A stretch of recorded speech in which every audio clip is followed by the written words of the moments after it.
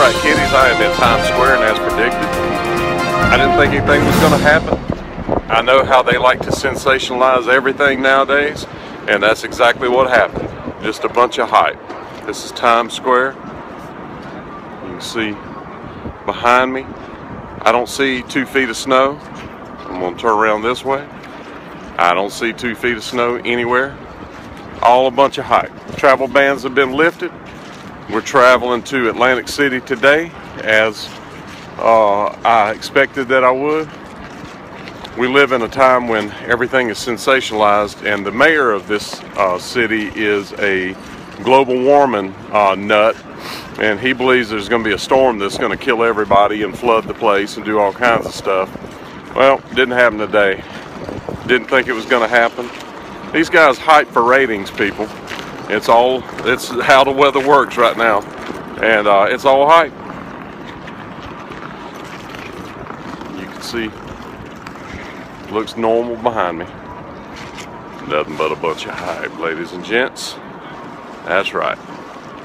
Alright, so this video is from about 3 o'clock in the morning. I stuck my GoPro out the window uh, so you can see what it looked like um, from our hotel room window. We're 26 floors, 25 floors up. And you can see that it is snowing, but it's not blizzard-like conditions by far. The real, the surreal thing is there's no traffic. You see there's no taxi cabs moving.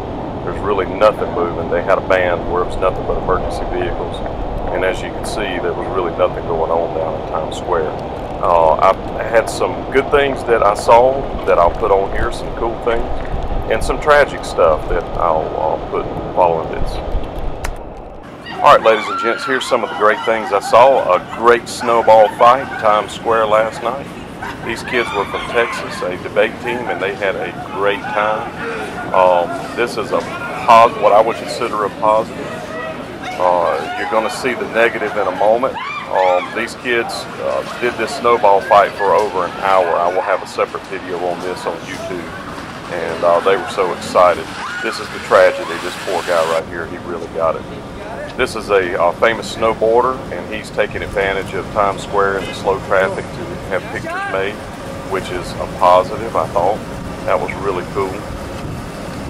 Then I saw New York's finest, the uh, fire department, uh, with a actually a fire in the manhole, and I asked them about it, and they said that during big storms, a lot of times uh, the methane will catch on fire inside the manhole, and that's what this is. Um, so they said it was not unsafe. They just wanted to check it out, and they uh, did some stuff to stop it. And another tragedy was the uh, original Soup Nazi. He was closed. That's the place. It's called the Soup Man. He's the, the one that the Seinfeld got the idea from. Um, and he was closed, unfortunately, because I would love to have some soup. It was late at night and it was snowing, so that's why uh, he was closed. Chewbacca all alone on Broadway. But you know what? He found some friends. I can't do a very good Chewbacca. Another tragedy was people making dogs wear shoes. Starbucks was closed. I had to settle on this, and man, it's not the same thing. And I had to see Geraldo a lot in Times Square. He's a legend in his own mind. And also people hitting New York's finest with snowballs. Uh, that was uh, kind of interesting. It back.